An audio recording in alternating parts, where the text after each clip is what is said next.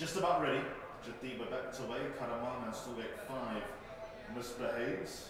So to this Lulu trap three. Jatiba Winton. Set and ready.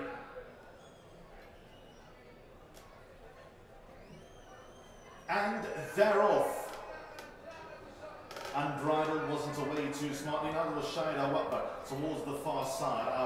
Baynuna was one of the first to break. Dayers towards the grandstand side. Hadia Awakba not too far away. Asma Shows a lot of speed over towards the far side. Mahyev was also not too far away, he niggled that to get into a handier spot. Mali races a few lengths off the leader. Lulu, blue sleeves, and White Cat was further back. Shahid Al Wakba also getting a wriggle on to make a few places. Lamise and Jamila are racing together. They followed further back in running by the likes of Safa Al Wakba in the second half of the field. Is not really uh, going anywhere at this stage. Karamana was next best. Haboba gave away a lot of places, but they head down towards the final 400 metres and over towards the far side. Asma Al Wakba has the advantage on that side of the track. Then nearest us and still staying on our way in Baynuna. Fadia Al Wakba is also towards the outside and trying to get into contention. Mali tries to finish off the race, but Fadia Al Wakba and Asma Al Wakba. Asma Al Wakba is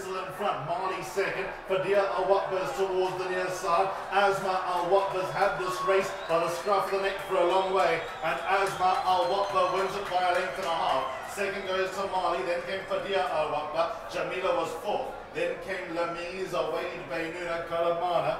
Daya was next, then came Lulu, Haboba, followed them, Unbridled, then came Mahin, Safa Al Wakba in the yellow and black, then came Mahyed, after them Shahid Al Wakba and Jatiba.